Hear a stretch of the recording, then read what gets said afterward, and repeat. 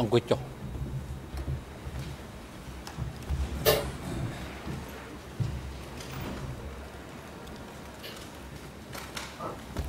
អង្គជំនះប្រកាសបន្តកិច្ចដំណើរការនីតិវិធីសម្ដែងការហើយ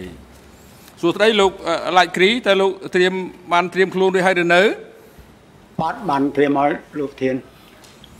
បាទអរគុណហើយជាបន្តទៅនេះផ្ដល់វិធានការជូនទៅខាង សហប្រញ្ញាដើម្បីមានឱកាសបន្តការតាំងសំណួរដេញដោលចំពោះដើមម្ដងរដ្ឋបព្វនីរូបនេះចាសូមអរគុណលោកប្រធានជម្រាបសួរម្ដងទៀតលោកគ្រីបាទបាទបាទមុននឹងសម្រាប់នេះយើងបានពិភាក្សាគ្នាដល់សមាជិកគ្រួសាររបស់លោកដែលបានស្លាប់នៅក្នុងរបបម៉ៃក្រហមមុននេះលោកនិយាយដល់ឪពុកម្ដាយរបស់លោក ហើយចុះកូនកូនរបស់លោកនឹងស្លាប់នៅក្នុង ឆ្នាំណាដែរហើយប្រហែលអ្នកប្រុសប្រហែលស្រីប្រហែលបាទកូនខ្ញុំស្លាប់ស្លាប់តែមួយម្នាក់ប្រពន្ធនិងកូននៅឆ្នាំជាមួយម្ដាយខ្ញុំនឹងជាមួយគ្នាហ្នឹង79នៅគ្នាហ្នឹង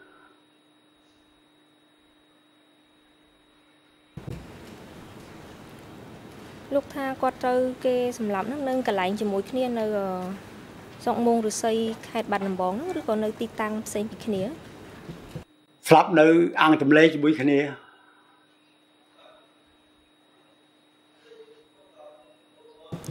ចាអរគុណលោកគ្រីខ្ញុំចង់ពិភាក្សាត្រឡប់ក្រោយបន្តិចតាក់ទងទៅនឹងប្រជាជននិងគ្រួសារវៀតណាមនៅក្នុងភូមិដែលលោកភូមិកំណើតរបស់លោកតើមុនខ្មែរក្រហម មកដល់ឆ្នាំ1970 71ដែលលោកបានប្រាប់តឡាការមុននេះតើមានគ្រួសារឬក៏ជនជាតិវៀតណាមរស់នៅក្នុងភូមិរបស់លោកដែរឬទេបាទ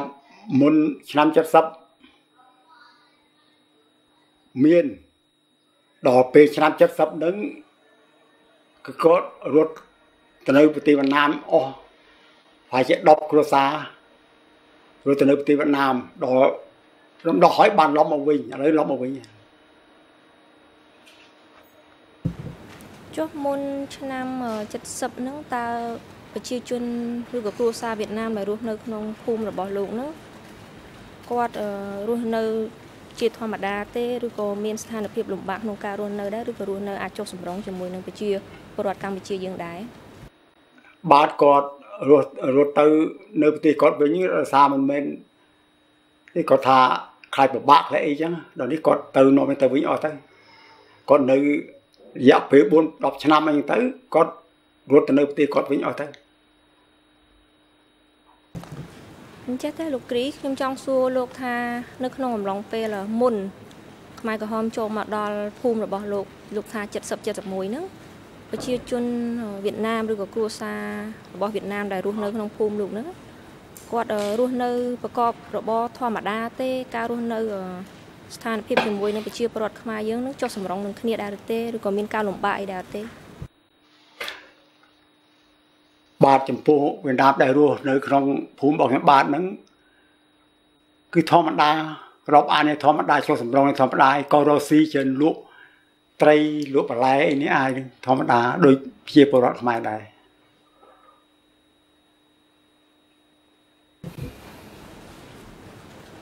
ចុះ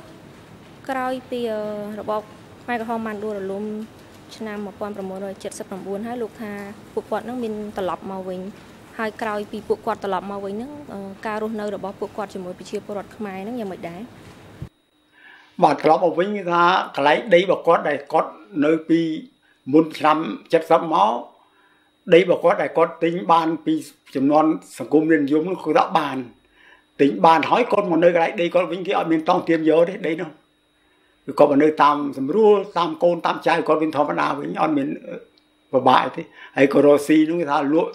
ត្រីបន្លែអីជាមួយបងប្អូនខ្មែរធម្មតារាប់អានឆ្លាញ់ធម្មតាជាមួយខ្មែរយើង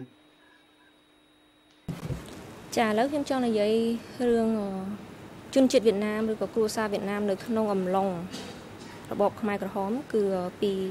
17មេសា75ដល់ 79នៅក្នុងចន្លោះអំឡុងឆ្នាំពេលហ្នឹងតើមានប្រជាជនវៀតណាមរស់នៅក្នុងភភូមិរបស់លោកហ្នឹងលោកដឹងទេថាមានប្រហែលប្រមាណគ្រួសារដែរបាទនៅក្នុងភូមិរបស់ខ្ញុំមានតែ3គ្រួសារហ្នឹងអត់មានច្រើនមានតែ3គ្រួសារទេដែលរស់នៅនោះហើយវៀតណាមក្នុងរបបពលពតហ្នឹងគឺ អត់មានទាហានទាហានដាក់ឆ្លងកាត់លេខកាលកាទាំងត្រង់ឲ្យមាននេះអត់មាននេះអត់មានដែលនៅមកនៅផងក្រៃខ្ញុំ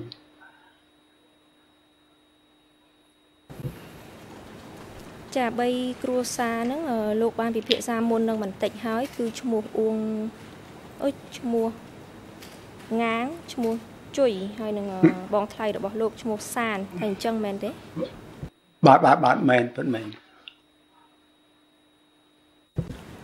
ឈ្មោះ ជួយនឹងលោកថាជាជនជាតិវៀតណាមហេតុអីបានជាលោកដឹងថាគាត់ជាជនជាតិវៀតណាមហើយគាត់កាត់ទៅខាងណាឬក៏មានប្រភពមកពីខាងណាដែរមកពីវៀតណាមសុទ្ធឬក៏មានឪពុកម្ដាយជាវៀតណាមបាទដែលខ្ញុំបាទដឹងវិវោះជួយនឹងប្រពន្ធជួយនឹងជាចំណូលមួយរបស់ខ្ញុំដូច្នេះជួយនឹងការកត់មកក៏រ៉ូស៊ីអ្នករ៉ូស៊ីទេរ៉ូស៊ីមកនៅប្រទេសកម្ពុជាយើងហ្នឹងមកនៅកន្លែងភូមិរបស់ខ្ញុំបាទហ្នឹងហើយដល់ក្រោយមកក៏ មានប្រពន្ធឈ្មោះដងអឿននឹងជាប្រពន្ធរបស់គាត់បានហើយគាត់នឹងនិយាយភាសានឹងនិយាយអត់អត់ច្បាស់ដូចខ្មែរបៃឡំភាសាវៀតណាមនិយាយបៃឡំបៃឡំបាទខ្ញុំអាចដឹងគាត់ថាគាត់វៀតណាមហើយគាត់ការពិតគាត់ចេះនិយាយវៀតណាមមែនគាត់នឹងហើយមុននេះលោកក៏បានប្រាប់តឡាការដែរថាជួយនឹងត្រូវមេភូមិហៅទៅហើយហៅទៅកាប់ឈើហើយ ក្រោយមកទៀតហ្នឹងលោកមានដែរបានជួបជួយទេហើយមានរឿងអីកើតឡើងចំពោះជួយខ្ញុំបានមិនមិនដែលអត់មានរឿងអីកើតឡើងនេះថាបាត់សូនហ្មងទៅកាប់ឈើរឿងបាត់សូនហ្មងមិនណាអត់ដឹងដែរតែទៅកាប់ឈើកាប់ឈើទៅបាត់ហ្មងចុះប្រពន្ធនិងកូនរបស់ជួយបាត់ប្រពន្ធកូនរបស់ជួយនៅសប្តាហ៍នេះដងអឿន កូនមានកូនមួយកូនស្រីមួយ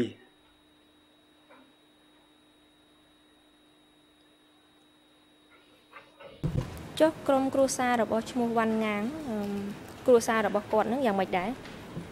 បាទចំពោះគ្រួសារវ៉ាន់ងាងនឹងគឺប្រពន្ធនៅទៅនៅសៀមរាបបាត់ហើយខ្ញុំបាទអត់ដឹងតំណែងយ៉ាងម៉េចយ៉ាងម៉េចអត់ដែលដែលមកផងទៅនៅសៀមរាបហើយប្រពន្ធវ៉ាន់ងាងហ្នឹង ចាគុណលោកប្រធានខ្ញុំមកសំណួរសូមផ្ទេរវេទិកានេះឲ្យទៅសហការីអន្តរជាតិរបស់ខ្ញុំសូមអរគុណលោកប្រធានសូមអរគុណលោកដើមបណ្ដឹងរដ្ឋបវេនីបាទអរគុណអញ្ជើញសូមជួយសហវិញ្ញាអន្តរជាតិ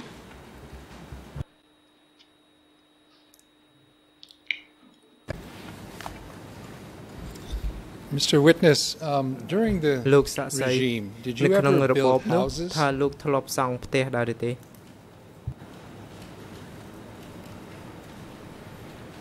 ខ្ញុំបាទ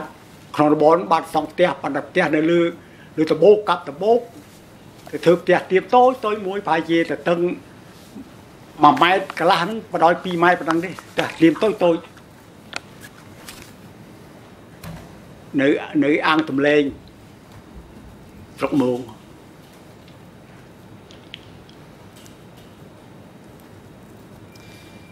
Did you ever witness តើលោក happened to other people while you were building houses មានអ្វីកើតឡើងចំពោះប្រជាជនដទៃទៀតទេ នៅពេលដែលលោកសង់ផ្ទះនោះពេលបានពួកខ្ញុំជំនះទៅនឹងទៅនៅខ្ញុំបានអ្នកសង់ផ្ទះនឹងប្រជាជននឹងថាបានធ្វើស្រែធ្វើអីជ្រុលស្រូវយកអីនោះសកម្មភាពរបស់ប្រជាជននោះដូចជាធម្មតាអត់អត់មានបញ្ហាអី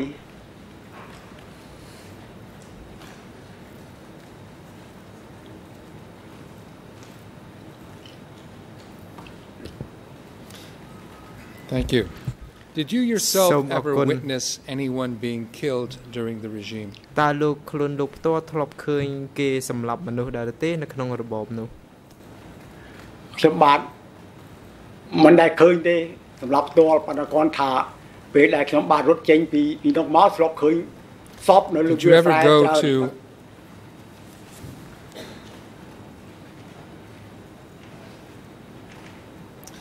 Okay, to be clear, which area was it ដើម្បី where you saw the dead បញ្ជាក់ bodies? ឲ្យបានច្បាស់តើលោកឃើញសាកសពហ្នឹងគឺលោកឃើញនៅតំបន់ណាដែរបាទខ្ញុំបាទឃើញសាកសពនៅក្នុងគឺក្នុងស្វ័យដងកៅបាញ់រត់ចេញមកនៅក្បែរស្វ័យខាងជើងស្វ័យដងកៅប្រហែលជា2គីឡូហើយបាទឃើញ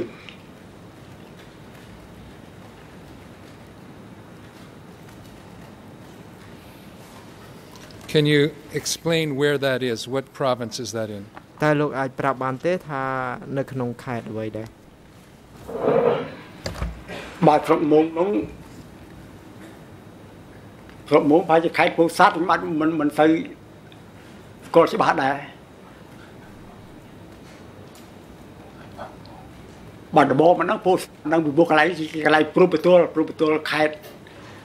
នឹងខាងខេត្តបាត់ដំបងមិនដឹងខេត្តពោធិ៍សាត់មិនដឹងខ្ញុំបានអត់អត់អត់ដឹងអញ្ជើញលោកមេធាវី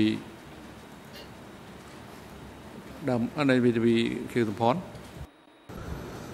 បាទសូមអរគុណលោកប្រធានអឺការពិតទៅមិនមែនជាការចំទាស់អីទេគឺថាត្បិតសាកសីគាត់ឆ្លើយមិនច្បាស់ពីរឿងទីតាំងខេត្តនៃស្រុកមួយក៏ ប៉ុន្តែអ្វីដែលខ្ញុំចាប់អារម្មណ៍នោះគឺថាដូចជាមានសំឡេងពីក្នុងហ្នឹងបញ្ជាក់អឺប្រាប់ទៅអឺដើមនៅរដ្ឋាភិបាលរូបនេះដូច្នេះបាទខ្ញុំគិតថាអឺគួរតែកុំឲ្យមានអឺអឺការឆ្លើយប្រាប់បែបនេះសូមអរគុណបាទអរគុណលោកកញ្ញាមសំណាងហើយអត់មានអ្នកណាមកបោះប្រយុងអីក្នុងការសួរដេញដោលដើមដឹងរដ្ឋបពមីរីរដ្ឋបវិនីរូបនេះទេណា លោកញ៉ែសំសំណាងបាទបាទអត់មានឲ្យមានអ្នកណាមកជ្រៀតជ្រែកកិច្ចការទេណាអឺ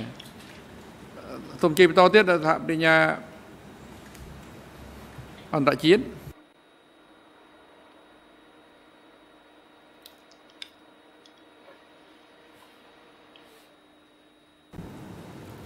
Sir, have you ever been to a place called លោកសាក់សី I may តើ have លោក my ធ្លាប់ uh, ទៅ colleague pronounce កន្លែង it. មួយដែល Shenyang. មានឈ្មោះថាឈ្នៀងដែរឬទេមកខ្មោចឈ្នៀងក្នុងកន្លែងក្បែរអាងសំឡេងត្រូវហើយលោកខ្មោចឈ្នៀងណាខ្មោចឈ្នៀងក្នុងកន្លែងអាងសំឡេងក្បែរអាងសំឡេងដែលរូបខ្ញុំបាទទៅនៅក្បែរនោះ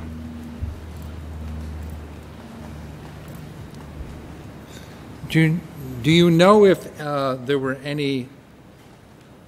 burial sites there? តើលោកដឹងទេថានៅទីនោះមានកន្លែងកប់សាកសពមនុស្សបាទកន្លែងខ្មោចឈ្នៀងនោះដែលខ្ញុំបាទដើរកាត់ខាងមុខគឺឃើញខ្មោចកប់ច្រើននៅលើទួលទួលខ្មោចឈ្នៀងបាទ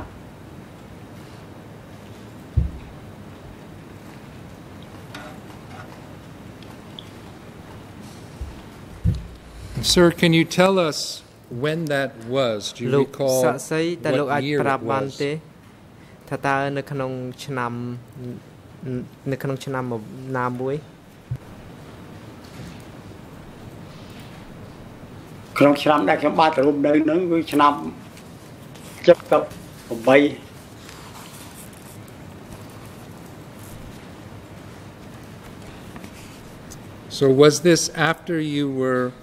sent to Battambang? ដូច្នេះអឺគឺហេតុការណ៍ហ្នឹងកើតឡើងក្រោយពេលដែលគេបញ្ជូនលោកទៅបាត់ដំបងមែនទេបាត់ការហ្នឹងគេដែលគេបញ្ជូនខ្ញុំទៅហើយបាត់បងហ្នឹងហេតុការណ៍ដែលកើតឡើងហ្នឹងគឺមុនខ្ញុំបាទទៀតខ្ញុំទៅក្រោយទេក្រោយក្រោយហេតុការណ៍ហ្នឹងទេដល់នេះខ្ញុំទៅទៅទៅឃើញហេតុការណ៍នៅកន្លែងនោះវាមុនខ្ញុំបាទទៅទៀត And can you explain to us, did you actually see bodies តើលោកអាច uh, ប្រាប់ in បានទេ open ថា ground or លោ how ក did you, ឃើញសាក what សព did you ហ្នឹង see គឺ exactly? ឃើញសាកសពនៅកដាលវាលតែម្ដងឬមួយក៏យ៉ាងមិនដែរលោកអាចបញ្យល់ឲ្យបានលម្អិតបន្តិចបានទេបាទពេលដែលខ្ញុំរត់ចេញពីពីពីអង្គទម្លេងមកហ្នឹងបាទខ្ញុំមកដល់ខ្សែក្នុងកែវហ្នឹងឃើញសាកសពនៅតាមវាលស្រែហ្នឹងគឺថា ដែលខ្ញុំរត់វិយុមើលមិនសូវច្បាស់ផងប៉ុន្តែខ្ញុំរត់កាត់ហ្នឹងសាកសពហើយជា30 40នាក់នៅនៅនៅងាប់កណ្ដាលវាលស្រែហើយរត់រត់ទៅរត់រត់ឆ្លងកាត់ខ្វល់ហើយបាញ់មកជាមកមកកើតមកមកមកដល់ពោធិ៍សាត់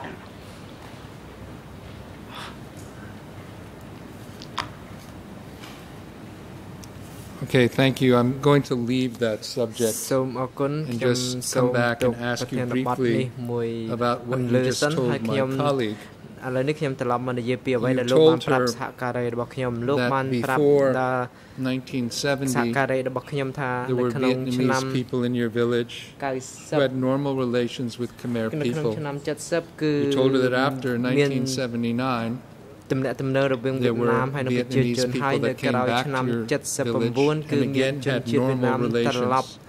មកភូមិវិញហើយគាត់ with មាន the ទំនាក់ទំ Khmer នងល្អ people in your village. ឡើងវិញជាមួយនឹងប្រជាជនខ្ម Sir, ែ is នៅ there ក្នុង any ភូមិរបស់លោក explanation you ដូ can ច្នេះខ្ញុំ give ចង់សួរលោកថាតើលោកអាច for why ពន្ the យល់បាន Khmer ទេ people ហេតុអ្វីបាន in ជា your village were killed ប្រជាជនខ្មែរនៅ during the ក្នុងភូមិ Democratic Kampuchea របស់លោក regime? ត្រូវបានគេសម្លាប់នៅក្នុងរបបកម្ពុជាប្រជាធិបតេយ្យ ខ្ញុំពេលដែលវៀតណាមមកនៅមកនៅក្នុងភូមិរបស់ខ្ញុំបាទនឹងពេលកន្លងមកនោះអត់អត់មានមានសម្លាប់ទេអត់មានសម្លាប់វៀតណាមដែលដែលដែលចូលបប3ហើយទៅទេហើយដល់សកម្មភាពផ្សេងដែលកើតឡើងនោះគឺថាខ្ញុំអត់ដល់អត់ដឹងទេមិនដឹងអត់ដឹង ពីពេលកន្លងមកនោះគឺថាក៏វៀតណាមចូលមកនៅប្រទេសនៅក្នុងភូមិរបស់ខ្ញុំបាទមិនមែនប៉ុន្តែសកម្មភាពវាធម្មតាវាអត់មានទេទេសម្លាប់ទេទេបើដល់ក្រោយមកទៀតគឺប្រជាជនវៀតណាមនឹងហើយប្រជាជនខ្មែរនឹងថារុំរៈគ្នារៈតាក់គ្នាមិនដែលចេះសំណោះអ្វីធ្វើឲ្យបែកបាក់សាមគ្គីទេពេលកន្លងមក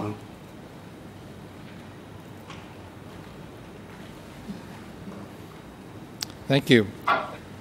My question សូម is អរគុណ if you ខ can ខ្ញុំ help ចង់ us. សួរឲ្យលោក You said ជួយយើងបន្តិច that good គឺលោក relations និយាយអំ existed ពីទំនាក់ទំ between នងល្អ Khmers and រវាង Vietnamese in ខ្មែរ your និង village វៀតណាមនៅក្នុង before and ភូមិ after របស់លោក the Democratic ទាំងនៅ Kampuchea មុន regime. កម្ពុជាប្រជាធិប But you've តេយ្យ also ទាំងក្រោយ testified កម្ពុជា that in ប្រជាធិបតេយ្យហើយលោកបានបញ្ជាក់ផងដែរថា7 or 78, នៅក្នុង all ឆ្នាំ of those Vietnamese in 77 your 78 village, ប្រជាជនវៀតណាម the នៅ three ក្នុងភូមិលោក Vietnamese ទាំង that អស់ lived there were killed. ត្រូវបានសម្លាប់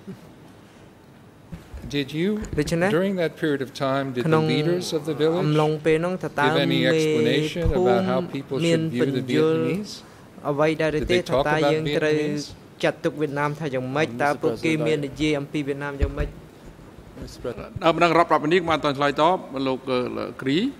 អញ្ជើញលោកមេធាវីបាទបញ្ចកូពេកុំកុំបានតន់ឆ្លើយតបណាបាទ មេធាវីកូពេសូមអរគុណលោកប្រធានខ្ញុំជំទាស់ទៅនឹងសំណួរនេះព្រោះថាដើមមនុស្សរដ្ឋប្រវេនីគាត់មិនដែលនិយាយអំពីប្រជាជនទាំង3ក្រុមឬក៏ទាំង3គ្រួសារទៅបានសម្លាប់នោះឡើយគាត់គ្រាន់តែឃើញហើយគាត់សន្មតថាពួកគាត់ទៅបាយគេសម្លាប់ប៉ុន្តែគាត់មិនដឹងដូច្នេះយើងមិនអាចមេធាវីមិនអាចយកពាក្យសម្លាប់មកបញ្ចូលទៅក្នុងពាក្យសម្ដីរបស់ You're ដើ not- ម I'm, នឹង I'm រដ្ឋប្រវេ happy នី to ឡើយ correct that. ព្រះញ្ញា Mr. ខ្ញុំរីក Witness, រាយក្នុង to ការកែតម្រូវ satisfy the defense, you talked about លោកបាននិយាយអំ your ពី brother's បង wife's son ប្រុសរបស់ being លោក taken away ប្រពន្ធ with បង all of ប្រុស her របស់លោក children. ទៅបានគេយកទៅសំយកទៅជាមួយនឹង and កូន you កូន talked ហើយ about លោកបាននិយាយ two other អំ Vietnamese ពី in your village វៀតណាម also ពីរអ្នក being ទៀតនៅក្នុង taken ភូមិ away របស់លោកក៏ត្រូវបានគេយកទៅដែរ by the authorities and never គឺ seen យក again. ដោយពួកអាជ្ញាធរក្នុងភូមិហ្នឹងហើយ My មិនដែលឃើ question ញ again is, ទេនៅពេល did ក្រោយ the មកដូច្នេះ authorities ខ្ញុំ in ច your ង់សួរថា village តើ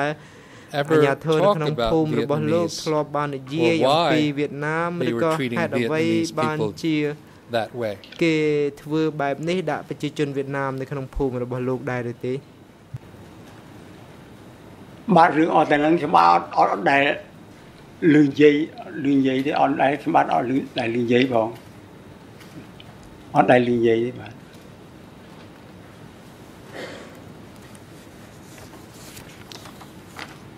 Sir, um,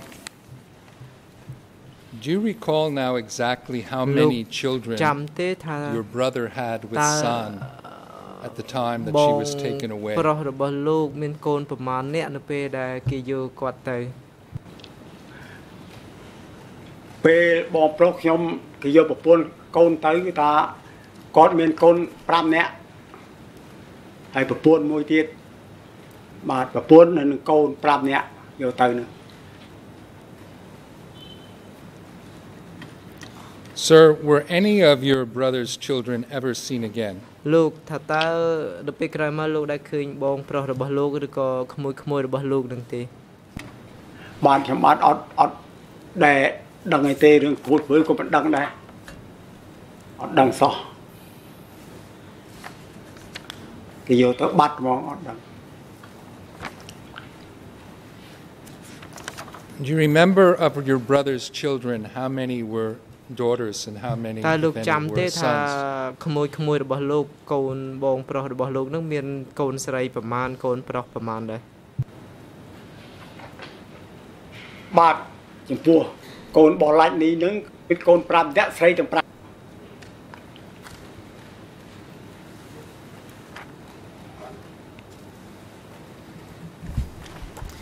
Do you know if at the time that San was taken away នៅពេលដែលគេយកសានទៅនោះ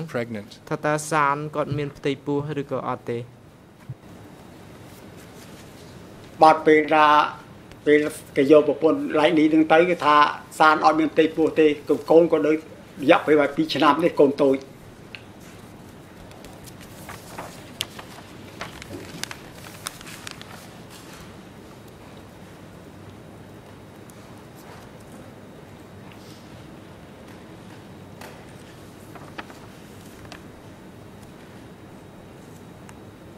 Thank you, Your Honors. I don't have any further questions. សូមអរគុណលោកប្រធានខ្ញុំមិនមានសំណួរអ្វីបន្ថែមទៀតទេសូមអរគុណបាទអរគុណហើយជាបន្តទៅនេះអមះផ្ដល់វិធានជូនទៅក្រមសហមេធាវីការពារក្តីជូនជាប់ចោតដើម្បីមានឱកាសតាំងសម្រួលនេះដោនចំពោះដើមម្ដងរដ្ឋបពនីរូបនេះហើយដំបូងនេះសូមផ្ដល់វិធានជូនទៅក្រមមេធាវីការពារក្តីលោកនួនជា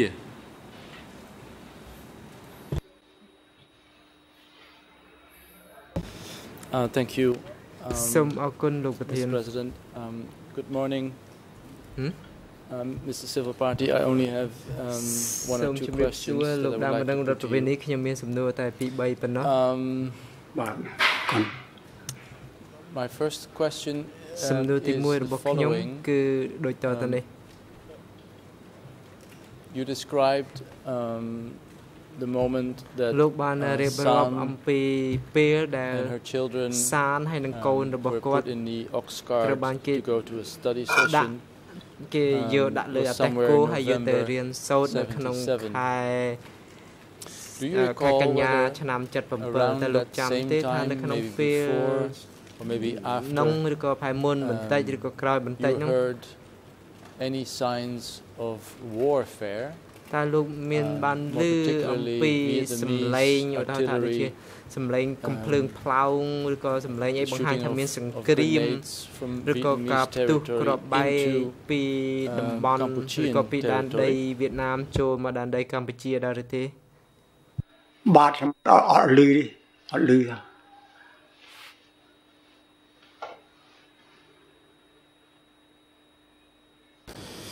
Um thank you សូមអរគុណលោក Civil Party my last question សំណួរ is របស់ខ្ញុំបន្តទៀត Do you know តើលោកដឹងទេជួយថាថាជួយ um, the person that you refer to គឺមនុស្សម្នាក់ដែលលោកបាននិយាយមុននេះ was at one point in time a soldier in the Vietnamese army គឺធ្លាប់ជាទាហានរបស់វៀតណាមបាទខ្ញុំបាទ អត់បានដឹងទេត្រង់តាហ៊ានឬមួយមិនតាហ៊ានខ្ញុំអាចដឹងនេះពូមកគាត់ជាជាជួនធម្មតានៅភូមិបាទហ្នឹង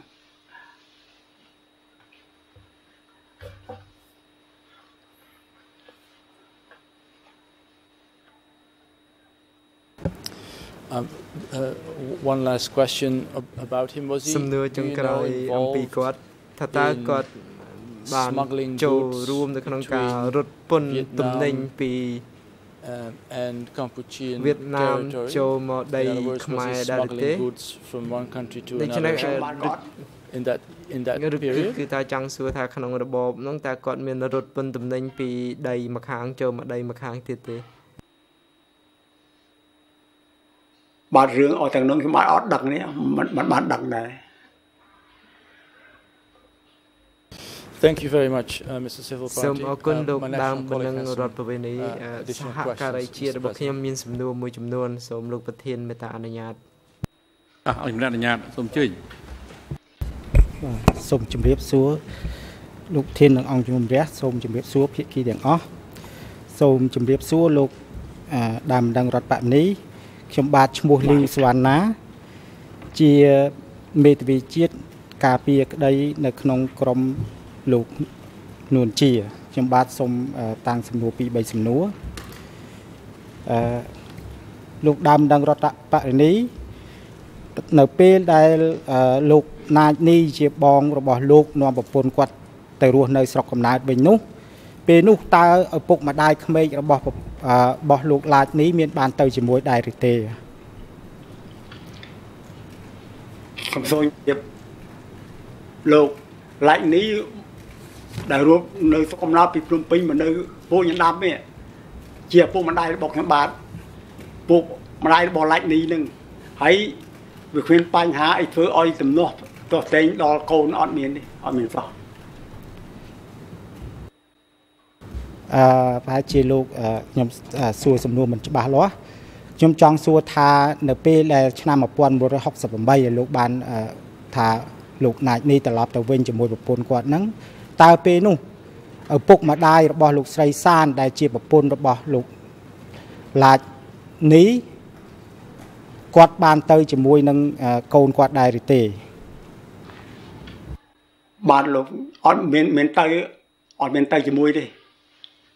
មិនទៅជាមួយខ្ញុំបាទក៏អត់ស្គាល់ទេមិនដែលស្គាល់តែឃើញទេ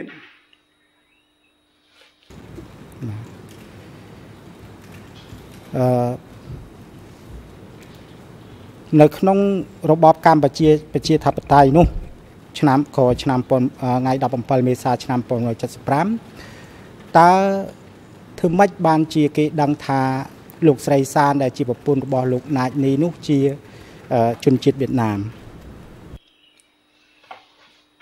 បាទដែលគេដឹងគ្រប់គ្នានឹងដោយសារគាត់មកនៅក្នុងភូមិពោជដាប់នោះគាត់រស់ស៊ីលក់បន្លែ លក់បន្លែលក់ត្រីហើយប្តីនឹងលក់តកឡាច់នេះលក់តកដូច្នេះហើយក្នុងការនិយាយស្ដីអីពេលណាវៀតណាមទៅទិញបន្លែនេះអីក៏ច្រើននិយាយវៀតណាមបានប្រជាជនអូនគេអាចដឹងថាគាត់សន្តានគាត់ទៅគាត់វៀតណាមពីព្រោះគាត់ចេះនិយាយវៀតណាមហើយនិយាយប៉ៃឡាំរបៀបវៀតណាម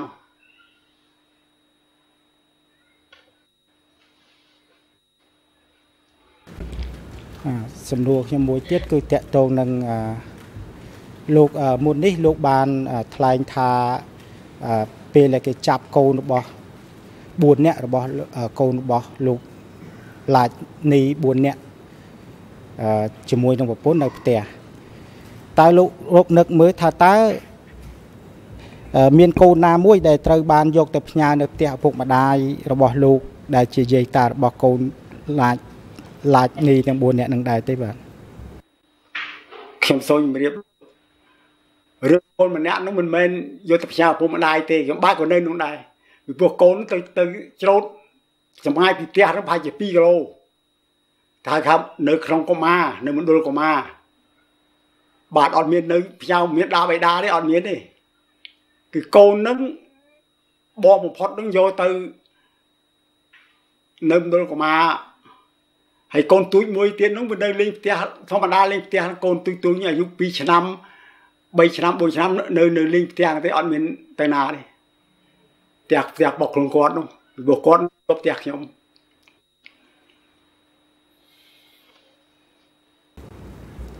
បាទអឺតើលោកនៅចាំឈ្មោះកូនទាំង5របស់គាត់ទេ ហើយពេលនោះតើអឺ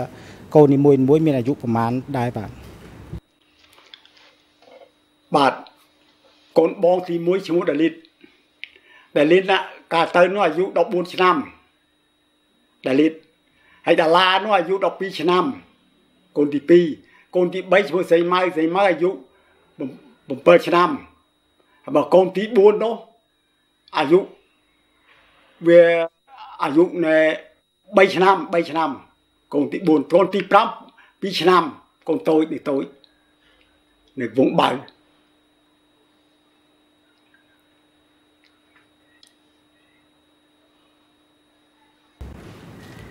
បាទឥឡូវចូលដល់រឿងដែលលោកថាគេបានចាប់ឈ្មោះងាង បានចាប់ខ្លួនឈ្មោះងាងអញ្ចឹងខ្ញុំចង់ដឹងថាតើឈ្មោះងាងនេះត្រូវបានចាប់ខ្លួនមុនលោកស្រីសានដែលជាប្រពន្ធរបស់ឡាចនេះឬមួយក៏ក្រោយពេលដែលគេចាប់ប្រពន្ធរបស់ឡាចនេះហើយបាទបាទឡាចនេះប្រពន្ធឡាចនេះគឺគេចាប់នៅនៅឆ្នាំ77ប៉ុន្តែវត្តងាងនឹង គេចាប់នៅតាំងពីឆ្នាំ75មកចិត្តកំពុងអីចុងចុងឆ្នាំ75ចុងឆ្នាំបើជាខែខែ12ឬមួយក៏ចូលចូលចូលខែ12 11 12ហ្នឹងនឹងយកទៅមុនគេបំផុតបាត់ងាំងហ្នឹងហ្មងយកទៅកាប់កាប់រំពាក់ហ្នឹង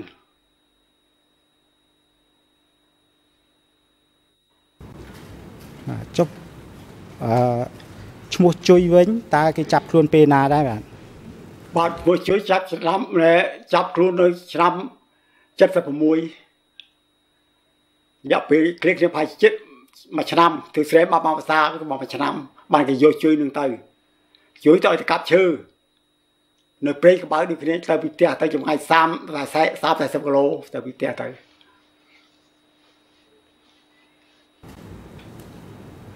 បាទតើតើប្រពន្ធរបស់ឈ្មោះងាងហ្នឹងគាត់ឈ្មោះអីដែរបាទបាទសូមអត់ទោសប្រពន្ធនឹងអត់ទេឈ្មោះប្រពន្ធមិនងាងទេប៉ុន្តែប្រពន្ធជួយហ្នឹងឈ្មោះដងអឿន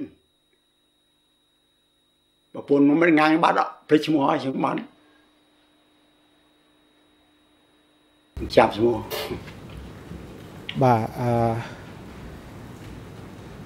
លោកបានរៀបរាប់ពីការជំលះរបស់លោកជំលះ ខ្លួនលោកចេញពីភូមិកំណើតទៅដីខ្លាញ់អញ្ចឹងខ្ញុំចង់ដឹងថាតើប៉ុន្មានខែក្រោយពីការចាប់ខ្លួនរបស់គ្រួសារប្រពន្ធនិងកូនរបស់ឡាចនេះហើយទើបគេជំលះលោកទៅដីខ្លាញ់ហ្នឹងបាទពេលដែលជំលះខ្ញុំបាទទៅនឹងថាមុន មុនឡាច់នេះនឹងការអនុលេក្រោយឡាច់នេះការការហើយបានខ្ញុំបាទគេជំលះទៅទៅនៅដីខ្លាញ់នឹងបាទរយៈពេលប្រហែលជា5 6ខែបានគេឲ្យទៅ ការពួតឡាច់នេះហើយនឹងប្រពន្ធឡាច់នេះក៏មានផ្ទៃពោះប្រពន្ធនោះមានផ្ទៃពោះហើយ4 5ខែបានគេជំលះទៅទៅនៅដីខ្លាញ់នៅអាងទម្លេ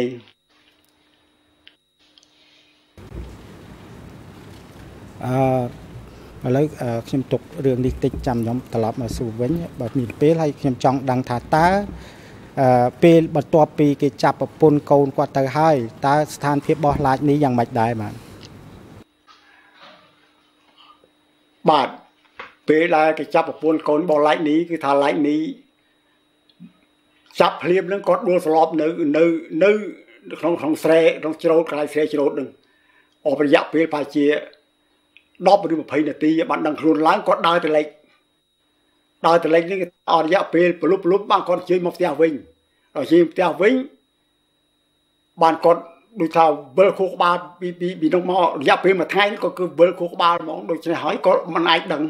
ហើយដឹងខ្លួនថាខ្លួននឹងជាដាក់ចំហររឿងមុំលេខដឹងចំហររឿងមុំដល់ហើយទៅប្រពន្ធគេអូនចុះកូនគេកូនកូនជាដល់ទៅរយៈពេល5ខែបាទ5ខែបាន បានគាត់រៀងស្វាងស្វាងទៅវិញស្វាងហើយអរយៈពេលប្រហែលជា2 3ខែក្រោយមកបានគេអោយយកប្រពន្ធហ្នឹងក៏អោយយកប្រពន្ធក្រោយ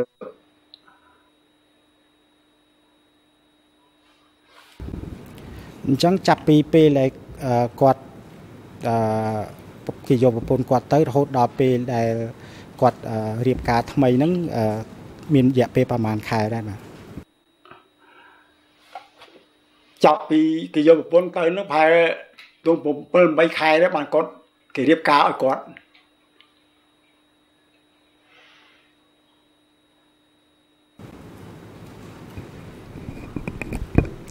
អឺខ្ញុំសូមអាននៅ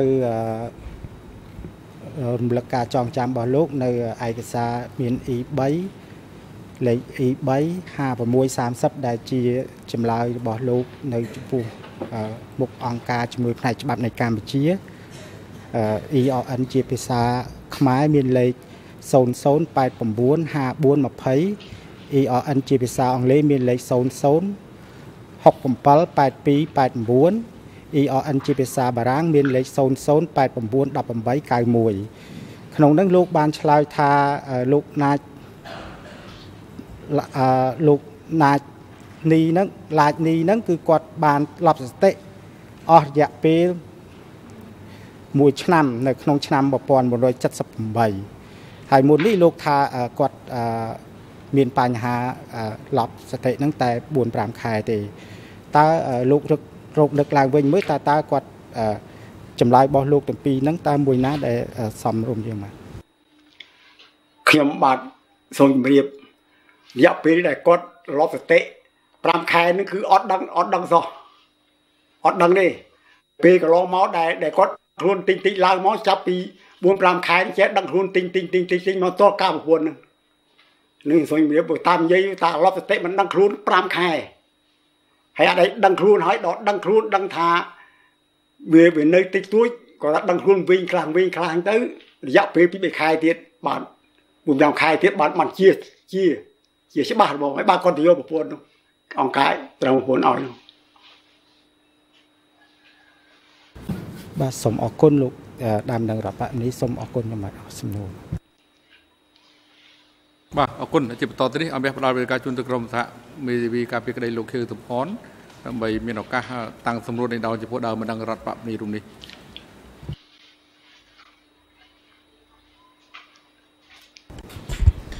Merci Monsieur le Président. Bonjour Monsieur de la partie civile. Je m'appelle Anta Guissé et je suis co-avocat international de Monsieur Kiusampan. C'est à ce titre que je vais vous poser quelques questions complémentaires. ma première question a trait aux entretiens que vous avez pu avoir au sujet des faits relatif au Kampuchea démocratique. Est-ce que vous vous souvenez, souvenez pardon, combien de fois vous vous êtes entretenu avec des gens pour évoquer votre expérience et celle de votre frère sur le Kampuchea démocratique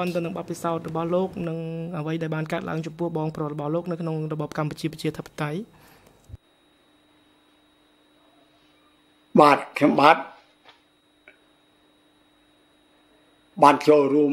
ក្នុងការប្រជុំនោះបាន3ដង ហើយក្នុងការរួមរស់ជាមួយរបបប្រជាធិបតេយ្យឬជាមួយឡាច់នេះហ្នឹងគឺថាបានជួនជាមួយគ្នានឹងចិត្តស្រិតមួយគ្នាជារាល់ថ្ងៃហ្នឹង Est-ce que vous vous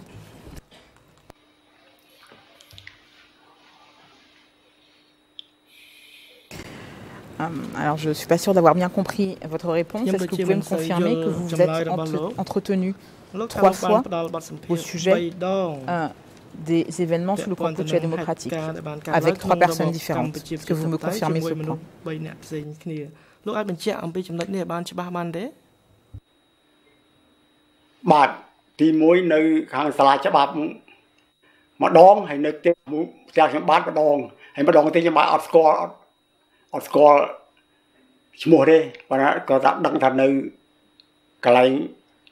ខាងសាលាច្បាប់ម្ដងហើយនៅផ្ទះផ្ទះខ្ញុំបានម្ដងហើយម្ដងទីខ្ញុំបានអត់ស្គាល់អត់ស្គាល់ឈ្មោះទេប៉ុន្តែគាត់ថាដឹងថានៅកន្លែងខាងឯកសារខ្ញុំបាទដឹងតែប៉ុណ្្នឹងទេ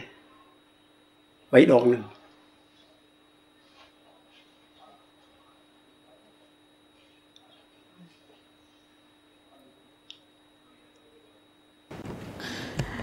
Euh, je vais essayer de voir si je peux vous rafraîchir la mémoire. Est-ce que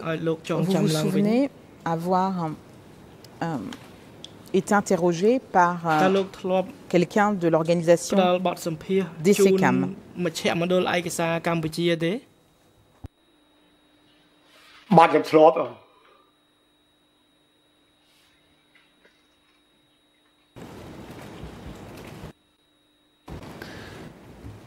Est-ce que euh,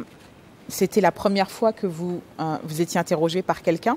sur le Kampuchea démocratique?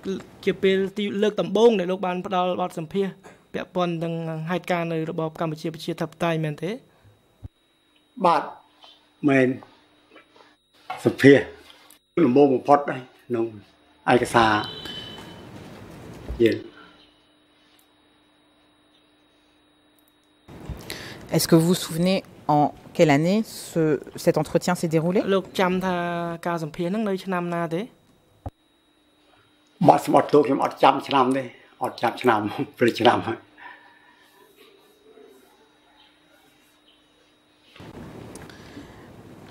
je fais faire référence à l'attention des parties au document 3 5640 e à la première page. Si je vous dis que nous avons endossé un entretien euh, dont la date euh, est le 11 juin 2000, est-ce que ça vous rafraîchit la mémoire?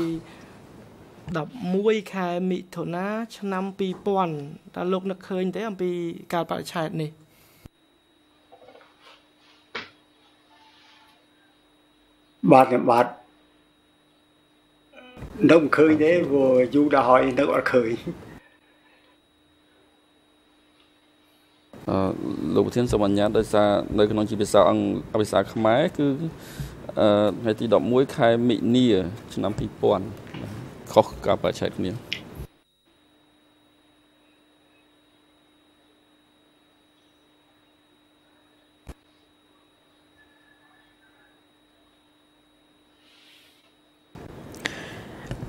Donc, euh, monsieur le témoin, sans faire attention au mois, vous ne vous souvenez pas si, vous avez, si cet entretien a eu lieu en 2000. Je voudrais m'intéresser maintenant au deuxième entretien hein, que vous avez.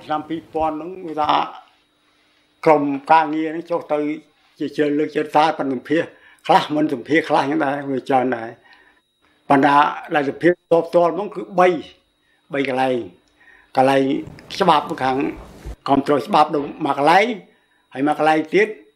ខាងឯកសារនឹងហើយមកម្ដងទៀតគឺនៅតាមផ្ទះខ្ញុំបាទ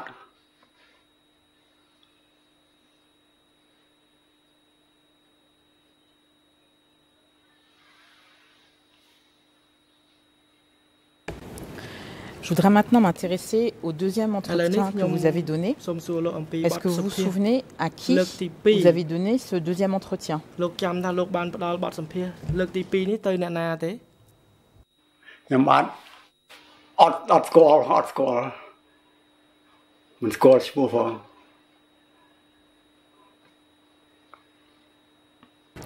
Est-ce que vous savez si c'était des gens du tribunal? Dans le cadre de l'enquête devant ce tribunal បាទគាត់ទៅសម្ភារគឺថា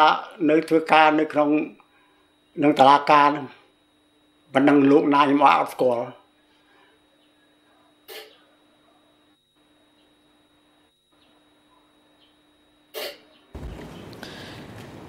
Si je vous dis que nous avons au dossier un document E3 barre 9340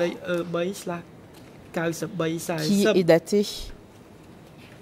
du 24 septembre 2008, est-ce que ça vous rafraîchit la mémoire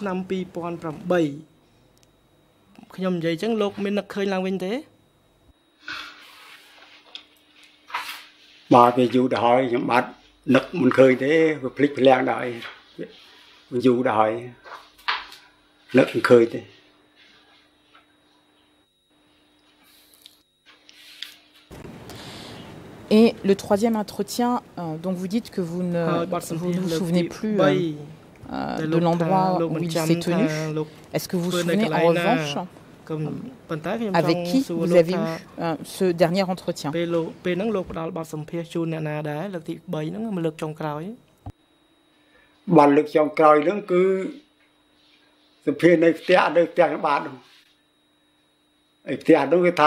ពេលហ្នឹងលោកផ្ដល់បទសម្ភាសជូនអ្នកណាដែរលើកទី3ហ្នឹងមកលើកចុងក្រោយបាទលើកចុងក្រោយហ្នឹងគឺសម្ភាសនៅផ្ទះនៅផ្ទះបាទហ្នឹងឯផ្ទះហ្នឹងគេថាមិនមិនមិនស្គាល់ឈ្មោះអ្នកទៅសម្ភារទេប៉ុន្តែខ្ញុំដឹងថា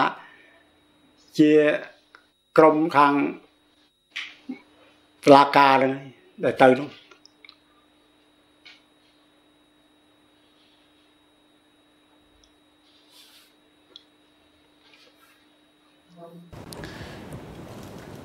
Est-ce que vous savez euh, si euh, ces personnes-là étaient des avocats qui étaient chargés de vous assister dans le cadre de la procédure.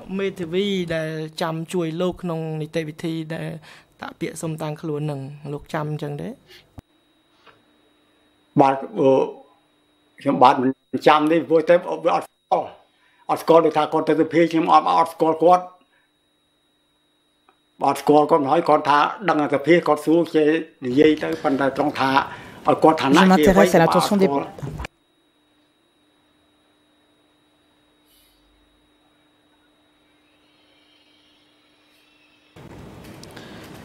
À l'attention des parties, je me réfère maintenant au document E3 barre 51630. Nous avons euh, au dossier euh, de la partie civile une déclaration intitulée Déclaration complémentaire qui date du 21 décembre 2010 et qui a priori euh,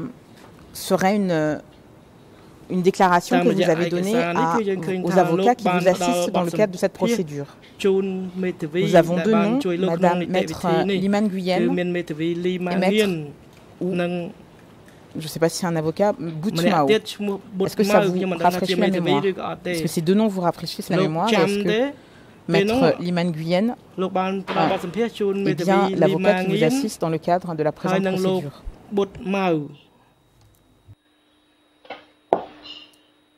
បាទខ្ញុំបាទចាំចាំចាំលោកលោកលោកស្រីខ្ញុំបាទចាំ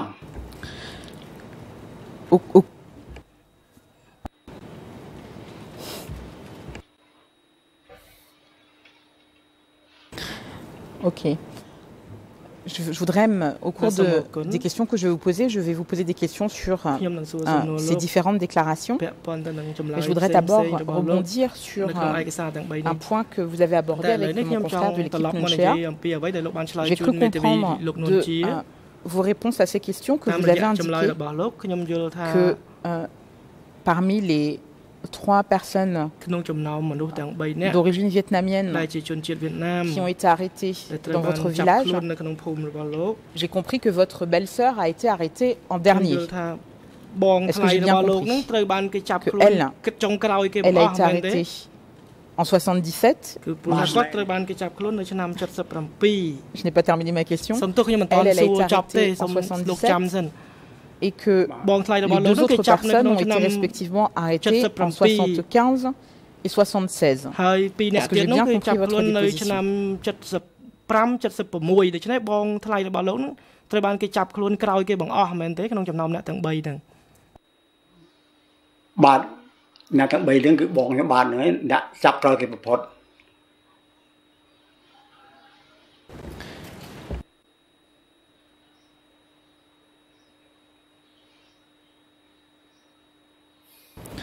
Et vous êtes sûr euh, que le Nyang, une des personnes que vous avez euh, indiqué avoir été arrêtée, a été arrêtée fin 75. Vous êtes sûr de ce point?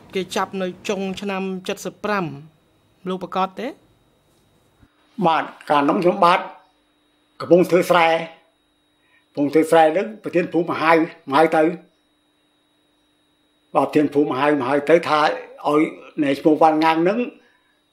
từ cao được vẽ vô mà thư bực kỳ. Nó có vạn ngàn, điệp trong phải tới từ từ từ từ mong rồi.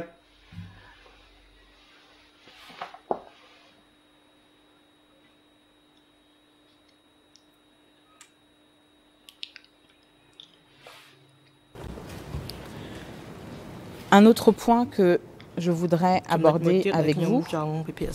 et de savoir, vous avez indiqué hein, que votre belle-sœur San parlait vietnamien et que dans le cadre de ses activités de commerce, elle parlait vietnamien avec d'autres ressortissants vietnamiens. Encore une fois, vous êtes sûr euh, de ce point? Vous êtes sûr qu'elle parlait vietnamien? ខ្ញុំបាទច្បាស់ពេលបាទខ្ញុំបាទច្បាស់ហ្នឹងគឺថាប្តីរបស់គាត់ឈ្មោះឡៃនេះក៏ចេះវៀតណាមដែរចេះភាសាវៀតណាមដែរពេលណាល្ងាចទៅផ្ទះហ្នឹងជួនកាលគាត់និយាយលេងប្តីប្រពន្ធគាត់វៀតណាម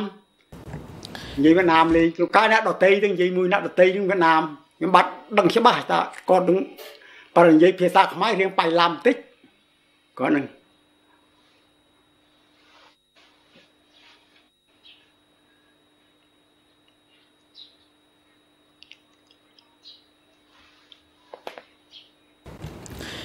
Je vous pose cette question parce que dans le cadre de l'entretien que vous avez eu avec euh, les enquêteurs des couches d'instruction en 2008, donc document E3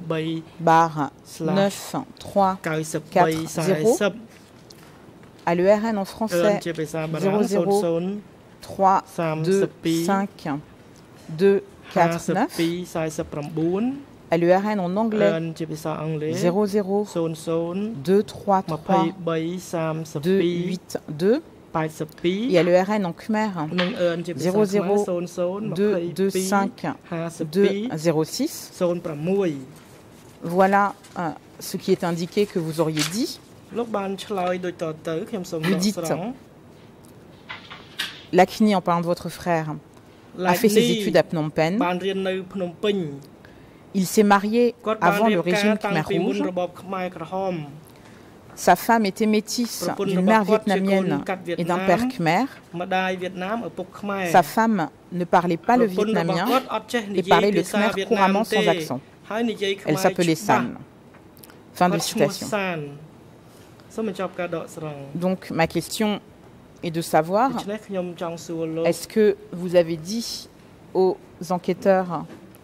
des couches d'instruction en 2008 que San ne parlait pas le vietnamien. ស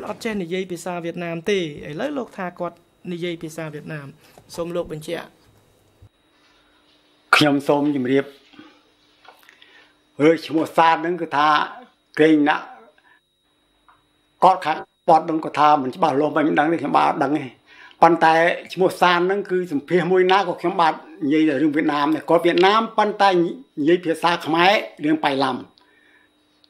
ប៉ុន្តែឯកសារគេលោកលោកខាងឯកសារនឹងលោកភ័ណ្ឌច្រឡំយ៉ាងម៉េចមិនបាទអត់ដឹងដែរ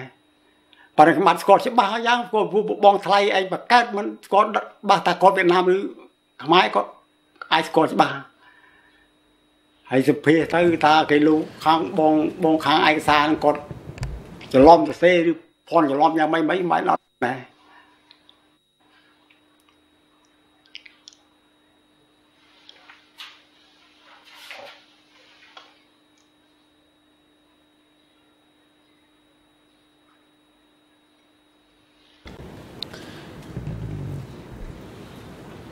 Vous avez également indiqué euh, que vous vous souvenez de votre euh, entretien avec euh, les avocats qui vous assistent dans le cadre de cette procédure. Et je voudrais évoquer avec vous un passage de la déclaration que vous avez tenu. Répondant tout d'abord à une question euh, de ma consoeur des parties civiles, vous avez indiqué que vous ne vous souveniez pas si, euh, enfin, que vous ne vous souveniez pas euh, avoir assisté à une réunion au cours de laquelle il y aurait eu l'annonce du départ de votre belle-sœur en rééducation. Ma première question, c'est est-ce que vraiment vous ne vous souvenez pas avoir évoqué à un moment ou à un autre une telle réunion ដឹងឬក៏មិនធ្លាប់បានចូលរួមក្នុងកិច្ចប្រជុំដែលគេប្រាប់អំពីការនាំបងថ្លៃរបស់លោកទៅរៀនសូត្រទេមែនទេបាទពិតមែន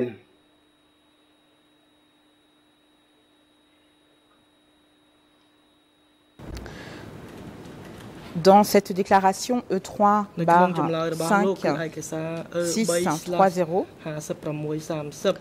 ERN en français 00 891 890 ERN en khmer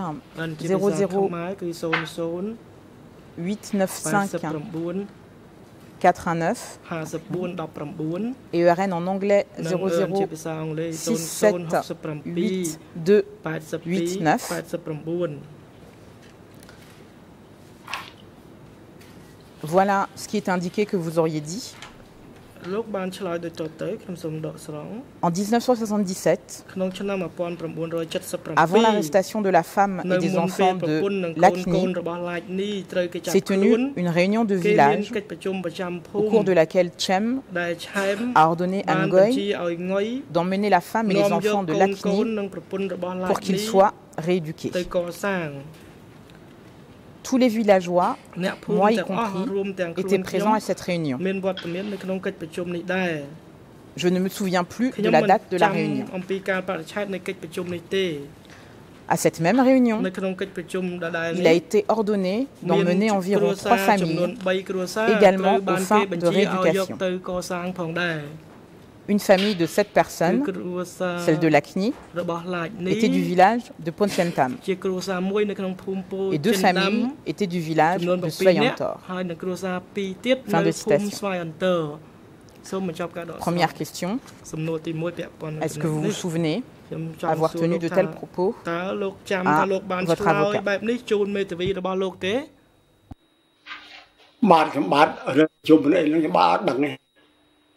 អត់ដឹងទេអត់ដឹងសោះពេលប្រជុំនឹងអត់ដឹង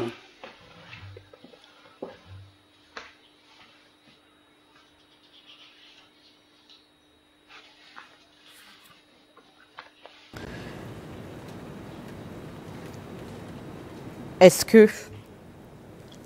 que ce soit dans ces cas, dans ces conditions, est-ce que après, plutôt, euh, le moment où euh, votre belle-sœur a été emmenée, est-ce que vous vous souvenez qu'il y aurait eu une réunion après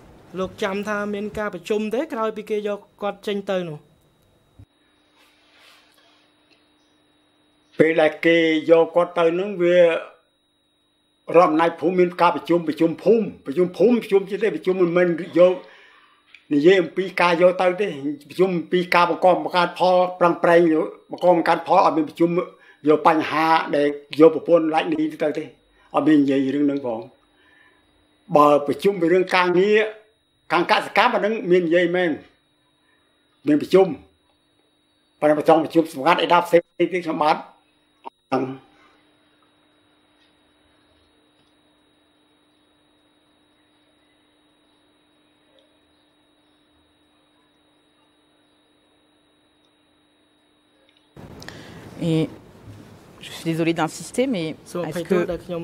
vous êtes sûr de ce point លោកច្បាស់ទេថាអត់មានការប្រជុំអំពីរឿងការនាំខ្លួនបងថ្លៃរបស់លោកទៅនឹងបាទខ្ញុំច្បាស់ពួកខ្ញុំបាទអត់ចូលរួមគេតែខ្ញុំបាទមិននៅមិនដឹងមិនដឹងទេបានបើថាខ្ញុំបាទអត់បានចូលរួមប្រជុំទេ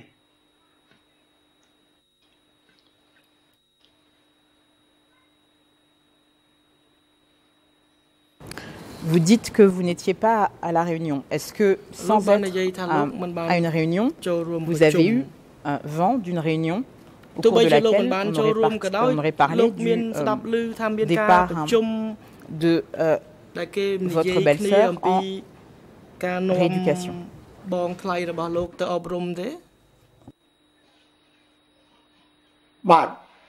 Bé là muốn nhớ bong sai không tới nó cứ ôm mình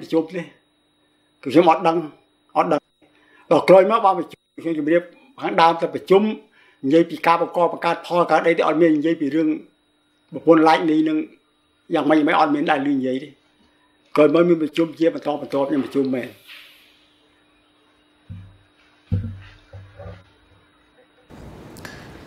Je vous dis ça, et ce sera ma dernière question, Monsieur le Président, parce que euh, je suis conscient du temps, enfin ma dernière question du jour.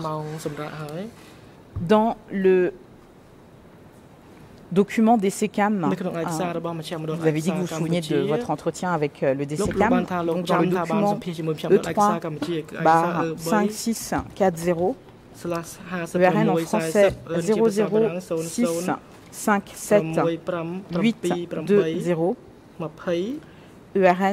en anglais 00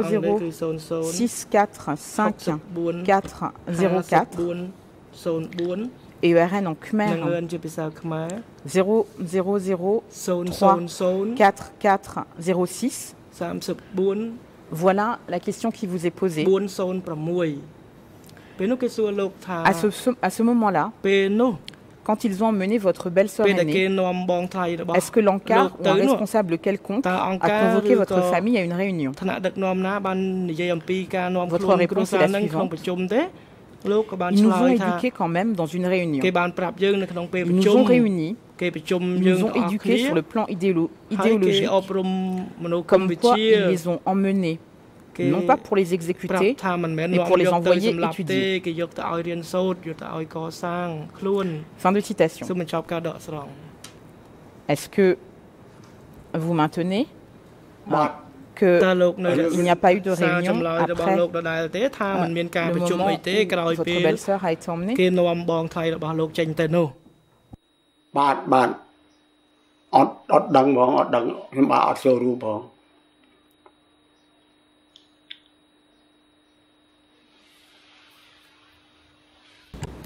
Monsieur le Président, je m'arrête là pour aujourd'hui. លោកប្រធានខ្ញុំសូមផ្អាកត្រឹមនេះសិនពីព្រោះថាដល់ម៉ោងហើយសូមបន្តនៅថ្ងៃស្អែកទៀតលោកប្រធាន